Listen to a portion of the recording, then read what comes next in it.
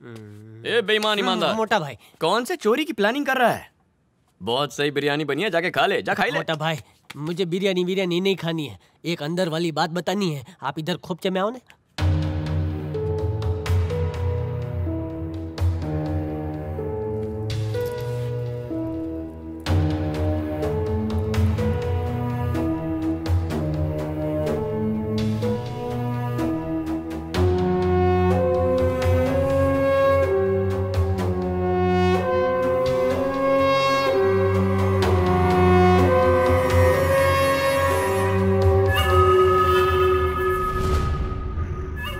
मुझे गलत मत समझना हो?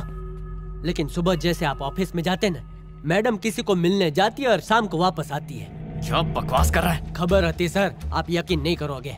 ये देख रहे ये सब नए पर्दे दुकानदार ने मेरे सामने लगाए हैं। उस दिन भी मैडम शाम को घर लौटी थी लेकिन उन्होंने आपसे कहा कि उन्होंने खुद अपने हाथ से पर्दे सिले रोज रिक्शा में बैठकर किसी को ढूंढती रहती है।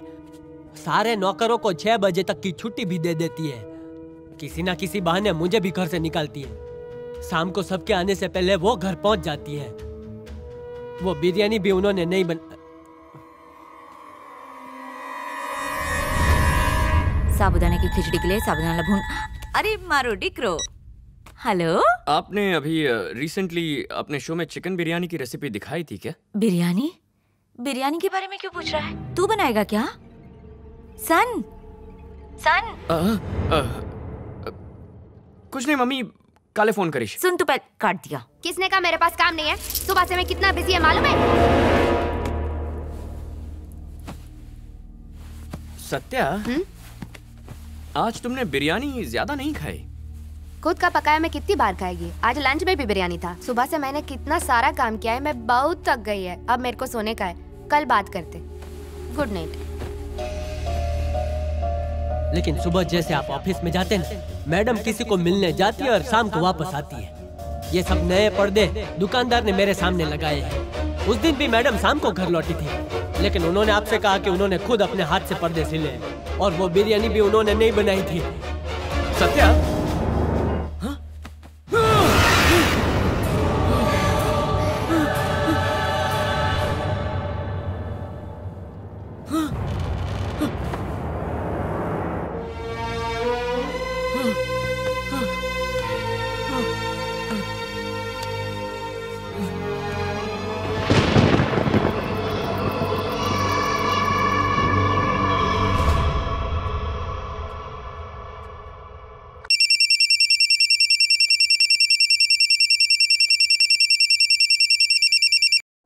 Hello son in law बोल रहे हैं। हाँ मैं ही हूँ। कैसे हो बेटा? फिट एंड फाइन छू आप और अंकल कैसे हैं? हाँ हम लोग सब ठीक है।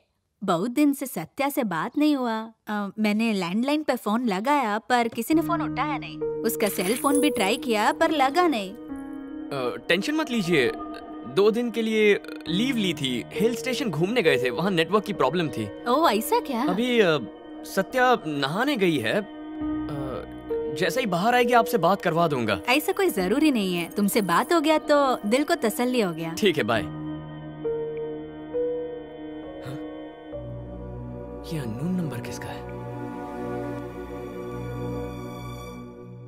हेलो हेलो मैडम क्या आप घड़ी घड़ी मुझे फ़ोन कर रही हैं? मुझे डिस्टर्ब मत कीजिए। जैसे ही वो आएगा मैं आपको फ़ोन करता हूँ। ठीक है?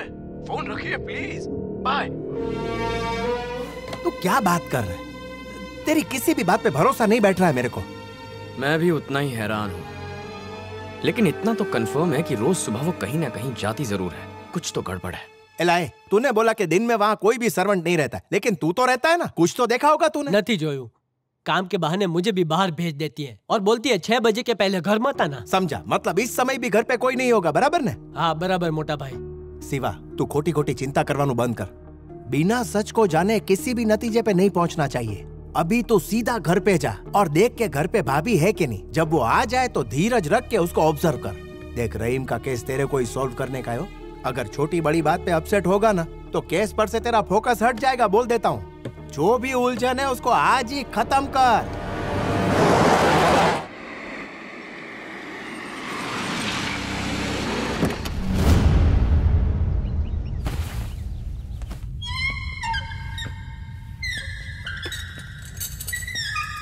ये झूला झूल रहा है अपने आप दरवाज़ा भी खुला है मतलब वो अंदर है कुछ तो लोचा है भाई Yes.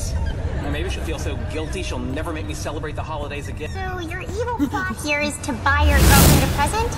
That's right.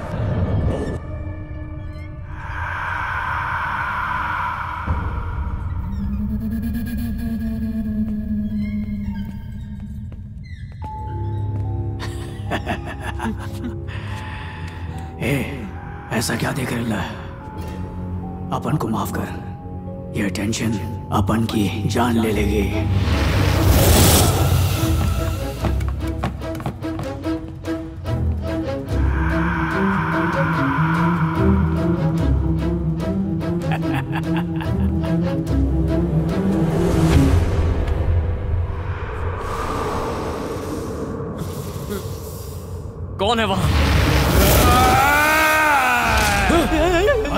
मसक्कले मसक्कले मसक्कले मसक्कले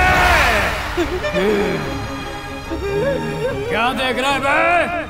अपन रहीम बेरियाने रहीम। मेरा खून जिसने भी किया, उस कुत्ते के बच्चे को, उस कमजल्फ को कब पकड़ेगा तो? बोल! अपन को नहीं मालूम, अपन को काहे को मारा? कौन मारा? पर अपने को पता करने का है। तू अपन को बताएगा कौन मारा? बोल! अपन के कातिल को पकड़ने की जगह। अपना निकाह करके सुकून से चोरू के साथ जलसे मना रहे तो? बेगैरत उसको ढूंढ जब तक अपन के खूनी को पकड़ के नहीं लाएगा, तब तक अपन तेरे बीवी के बदल से बाहर नहीं निकलेगा। खुदा की कसम।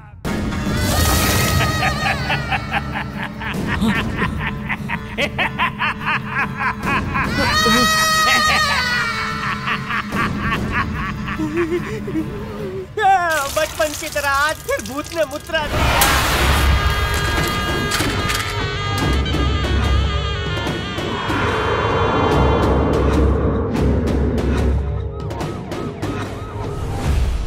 स्कूलिंग कहाँ से हुई है? सेंट मैरीज मेट्रिकुलेशन वहाँ के प्रिंसिपल का नाम? मदर क्लारा तुम्हारी बेस्ट फ्रेंड का नाम? अंजलि रहीम को जानती हो? रहीम. रहीम. तुम्हें वो याद है? हाँ. बताओ। उसका नाम मैंने शिवा की फ़ाइल में पढ़ा था। शिवा से शादी करने से पहले तुम किसी और से प्यार करती थी? नहीं. अपने स्कूल में या कॉलेज में? नहीं. कभी कोई अफेयर नहीं था। कोई ऐसा इंसान जो तुम्हें पसंद करता हो? कॉलेज में एक लड़का था जो मुझे फॉलो करता उसका था। नाम? राहुल। राहुल? या रहीम? राहुल। फिर क्या हुआ? एक दिन मैंने उसको डांटा। पुलिस का धमकी दी पर वो नहीं सुधरा। एक रात को उसने घर पर फ़ोन किया। उसने बहुत सारा खरी कोटी सुनाया और फिर उसके बाद मैंने दोबारा उसको कभी नहीं देखा।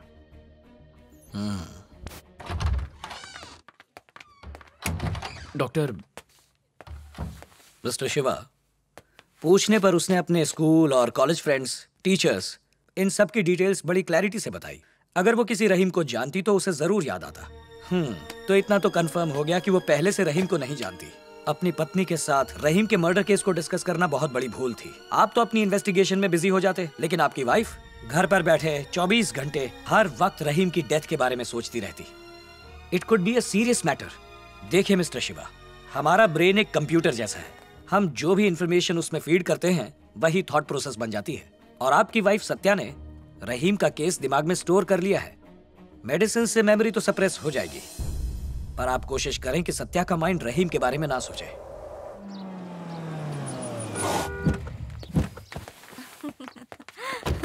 हाँ मेरा सन गया। हाय अम्मा। हाय निकरा कोई ना नहीं चली सकती। अभी गिर जाती तो? नहीं रे कंट्रोल नहीं कर पाई। तूने कहा था ना कि तू छह महीने के बाद आएगा लेकिन तू जल्दी आ गया इसलिए। अरे बहू भूल तो नहीं गई मुझे। ऐसा कैसा मैं ठीक हूँ आप कैसी हैं?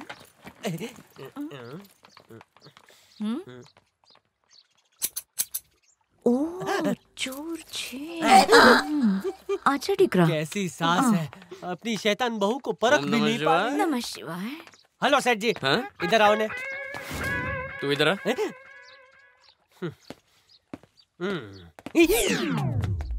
पदरे से चालाकी। ए स्टॉप हमारी बात सांभो जैसे ही मैडम ने इस घर में कदम रखे अब की मम्मी के कदम डगमगाए। मतलब मैडम डायन है मुँह का और पिंजरा बंद रख। सासू माँ टीवी शो कैसा चल रहा है। खुद की क्या तारीफ़ करूँ? अब तक 25 लैंग्वेजेस में डब कर चुके हैं मेरे बावर्ची शो को। अच्छा? अभी भी दो और चैनल्स का ऑफ़र आया है पर मैंने रिजेक्ट कर दिया। पूछो क्यों? काय को स्विट्जरलैंड से ऑफ़र आया है कि पाव भाजी कैसे बनाते हैं ढोकले का पिज्जा कैसे बनाते हैं और यही सब सिखाने के लिए मैं जा रही हूँ स्विट्जरलैंड। तू क्यों नाच रहा है माता जी आज की फेंकने की रेसिपी हो गई हो। तो आज का डिनर का मेन्यू बताओ ने। मेरे को काम वाली बाई समझा तूने हाफ़ चड्डे अबे बच्चों के गीले डायपर औरतों की हेयर क्लिप तबेले से गाय का गोबर लेके बाहर जाके बेचता है थर्ड क्लास माता जी सक्सेसफुल चोर बनना सबके बस की बात नहीं है। नहीं इसके लिए तो तुझे नोबेल प्राइज मिलना चाहिए चोर कहीं का। ए माता जी छोटे चोर मेरे फ़ोटो की आरती उतारते रुकी जा तेरी तो मैं मोटे चप्पल से आरती उतारती हूँ रुक। चोर बदमाश कहीं का। ये क्या पकड़ा पकड़ी छुपा छुपी खेल रही है। भूख लागी छे खावानू खवડાવો ने बेन। तेरे को क्यों खिलाऊं? अपनी पनीर जैसी बहू को खिलाऊँगी। ऑनलाइन पनीर मंगवा के उसका कीमा बना के भरते में मिला के बनाया है। आजा बहू सन तू भी आजा। सेठ जी आपकी मम्मी ने खाने में कीमा बनाया। तेरी प्रॉब्लम क्या है? समझने की कोशिश करो कीमा देख के रहीम की आत्मा की भूख जाग गई तो क्या करेंगे तो जागने देना। अरे सू आपको डर नहीं लगता ये तुम्हारी पत्नी छे। जब मैंने रहीम की आत्मा को सत्या के शरीर में जाते देखा तभी मैं समझ गया कि उसके साथ ज़रूर कुछ गलत हुआ है। कुछ समझा? मैं उसकी मदद करूँगा। फट्टू कहीं का मुझे लगता है अगली बार मेरा कीमा बनेगा। यूज़ मी ईट मी मैं तो कहता हूँ रहीम नहीं उसकी पूरी फैमिली खाने के लिए अपना मुँह बंद रख। मतलब ज़ुबान काट देंगे। सिट बहू। स्पेशल मट्टू बिरयानी बनाई है। बिरयानी? सर मेरा तो उपवास है। आपको फैमिली के साथ लास्ट खाना मुबारक हो। अरेस्ट नहीं किया? हाथ नीचे रख। मेरे को बिरयानी बहुत पसंद है। आपको कैसे पता? सर ने मुझे हाँ। मुझे भी थोड़ा खाना खिलाओगी? दे दो। खाना देख के डर गया। नहीं खाने के बाद क्या होगा? सोच कर डर रहा। तो हूँ बस बस। आप ही दो थोड़ू खाई लो। भूख लगी है। लाइफ का आखिरी खाना समझ के खा लेता हूँ। खा खा के मरेगा ये दे दो दे दो। शुरू हो गया। बिरयानी देखते ही आँखों की गोटियाँ घूमने लगी। मोटा भाई हम्म? अभी कौन खा रहा है मैडम या रहीम भाई? तू चुपचाप खाना। मरी गया।